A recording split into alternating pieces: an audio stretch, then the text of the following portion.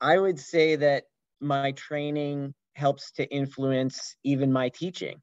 Um, you know, I'm able to take some of the life lessons that I've learned through the sport of triathlon um, or any of the other endurance sports that I've competed in, and I'm able to kind of translate that to you know certain lessons that I'm able to impart on my students, um, and you know hopefully they're under they're getting this understanding of okay you've got to start you know you've got to start to have good habits right?